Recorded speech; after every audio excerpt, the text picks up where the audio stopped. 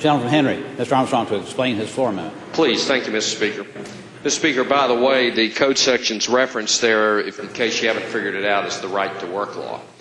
Uh, in speaking to my floor amendment, uh, I suppose the gentleman from Henrico's comments uh, uh, lay the groundwork. I found his dissertation very, very interesting and enlightening. Uh, problem is, it doesn't have much to do with the bill.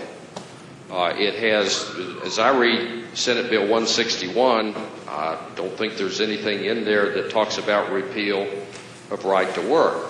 Mr. Speaker, ladies and gentlemen, uh, it, as a practicing attorney, and I've talked with a number of practicing attorneys around here, you probably wouldn't be surprised that over the last couple of decades, more and more alternative dispute resolution is being used in the Commonwealth. And all alternative dispute resolution means just a fancy term for mediation or arbitration, an alternative to going to court and litigating. And the reason it's become so popular is it's cheaper. Lawyers, as you might imagine, are a little expensive. Okay? And any time that you can cut Mr. down Speaker. on the amount, Mr. Speaker, would the gentleman yield for a question? I I would prefer Gentleman, not to, Mr. Speaker, to my good friend. I will in a moment. It's cheaper.